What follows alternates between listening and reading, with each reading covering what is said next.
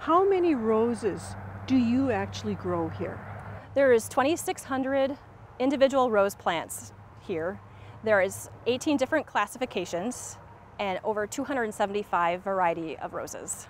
Who decides which varieties that you grow? There's varieties of roses that have been here since the garden started in this location since 1994. If there is a rose that is uh, failing, we might replace the individual rose.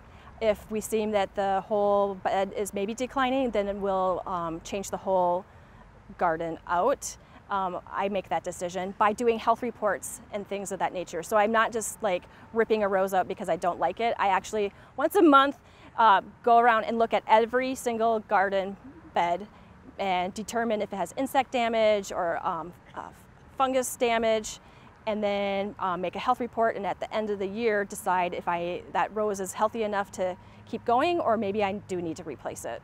So then do you get to pick the new variety that comes in? Yes, um, however, I do get um, new varieties that come in all the time because the breeders are really fun and, and, and always developing new roses. I do have um, uh, a space here in the garden in Circle 4 that we call the test area. So I will buy um, bundles of five, put them in that test area. If they seem like they're going to handle Duluth weather, then I will go ahead and purchase 20 to 25 plants depending on the bed size to fit in the rest of the circles. How many roses of each variety are here? So each bed is a slightly different size. So I may have as little as 20 in the English formal garden area or up to 30 depending on the space. And it also depends on the rose. Some roses are naturally smaller just depending on the breeder and the, uh, the type of rose it is because we have miniatures. We have all the way up to um, large, large climbers and so they get a lot bigger. What is the difference between a regular rose and a standard rose or a tree rose? So your uh, regular rose that you're thinking of is the ones that are um, roots in the ground and then the bush on the top. Your tree rose is a, a grafted plant, so you'll have a root stock of a rose and then they will train the stem and it looks like it is a tree, but it's, it's actually a rose cane that's been trained. And then they'll graft another rose, the one that you want to see the blooms on, on top of that. How do you keep up with the watering? So we're lucky enough to have irrigation. And that would, that's, that's how we keep up with the watering. Do you have to worry about getting leaf disease at all if the irrigation hits the leaves? So we do have to worry about fungus. Uh, powdery mildew and black spot seems to be the two major diseases that we come across in Duluth here. We do spray uh, fungicides and um, we rotate them through between like a contact uh, chemical and a systemic one. Um, I try to do it uh, as long of intervals as possible because I don't want to overspray. Um, if we do get insects, I generally do nothing unless it's um, like aphids. I can spray the aphids with a hose and that they're such a soft body insect that that will just blow them onto the ground. I don't like spraying for insect, in, insects because um, that could harm the pollinators. So, so far we haven't been spraying for insects here.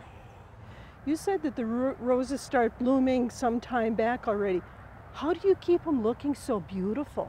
How we keep the roses blooming is that we make sure that we fertilize really early in the spring. Uh, we fertilize with organic chicken manure, which smells really good.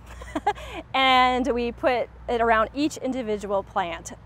And so we make sure that they get enough nitrogen. Roses are really nitrogen dependent. If they don't have a lot of nitrogen, they won't spend the energy in the plants to put on the gorgeous uh, flower. We fertilize early spring, usually April when there's bud break. Um, we don't want the leaves to come out completely because you don't want the fertilizer to actually touch the leaf of the plant because it is so high in nitrogen. It could actually burn the plant, but yet we still need that nitrogen for the health of the plant to grow later when we want the flowers. Takes about two cups of organic fertilizer per plant and we have to sprinkle it around the uh, drip line of each individual plant. when we get our fertilizer, we make sure that we get it from a, a, a reputable garden store because you don't want to take your chicken manure from your neighbor's chickens because it needs to actually sit for six months or longer. Otherwise, it'll be too hot and potentially burn your plants as well. So there's a fine line of too much nitrogen and too little, and so you don't want hot manure basically. Do you fertilize at all during the summer also? I haven't. Okay. It, it, can be done. Um, generally, because we have so many plants, there's just so many things to do um, that I generally don't unless that flower looks um, like it might need more help, but generally I don't fertilize second time. Then how do you deadhead all of these roses?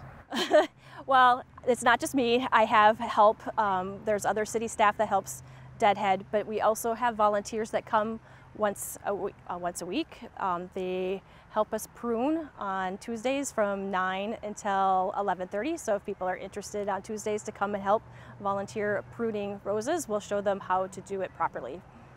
It looks like you also label all of the varieties too, is that right? Yep, we're a public garden, but we also do education as well. We have uh, garden tags on each of the roses and it gives the, the name of the, common name of the plant, the breeder, uh, the year that this flower was introduced, and also it has a breeder code, which basically uh, is its own key to that flower. And then how about deadheading? The reason why we keep deadheading is to trick the plant into producing blooms over and over again. If we don't, the rose will put on rose hips and then it'll be done. Wendy, this is absolutely beautiful. And you obviously keep these roses looking so pretty in the summer. Can you share with us what you do to overwinter them? Yes, absolutely.